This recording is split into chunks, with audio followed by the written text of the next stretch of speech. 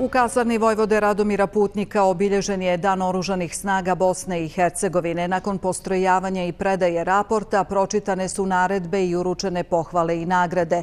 Loši uslovi u kasarni bacili su sjenu na današnji praznik. U kasarni Vojvode Radomira Putnika obilježena je 17. godišnjica formiranja oružanih snaga Bosne i Hercegovine.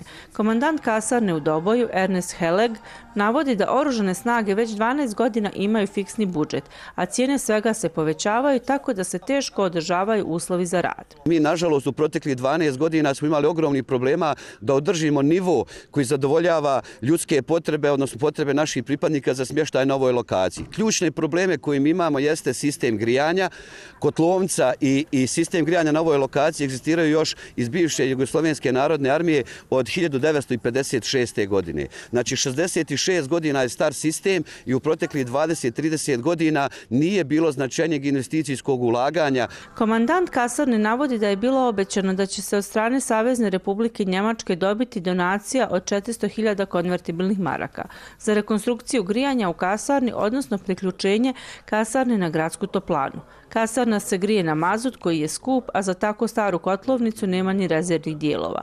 A dnevno se zbog dotrajalosti gubi 30% energije, kažu radnici u kotlovnici. Ovo je već starije i od mene. Ja sam 72. godište, znači još je malo starije nego ja još nekako radimo s ovim drugačiji sistem grijanja bi dosta bio efikasniji zato što je nauštenje energenata. Znači mi koristimo ovdje e, lako ložu ulje koje je dosta na cijeni, a ovako bi možda sa drugim energentima i, i toplovodom išli i efikasnije bi bilo i sve u svemu bilo bi lakše. Vojnici koji i vikendom borave u kasarni tada se toplije obuku i griju grijalicama pošto grijanje imaju samo radnim danima. Jesu loši uslovi, mala mi je teško, pogotovo rad hladnoće, nemamo grijanja, mislim, nije, nije adekvatno.